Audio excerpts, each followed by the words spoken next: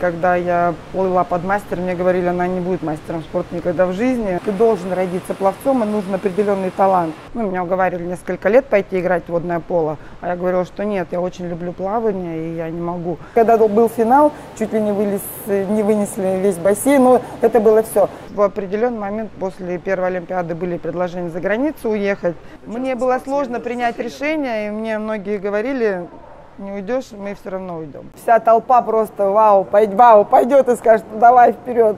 Наверное, мы были более голодными, и та система, мне кажется, была более жесткая, может быть. Очень сложно было, мне его каждая тренировка давала.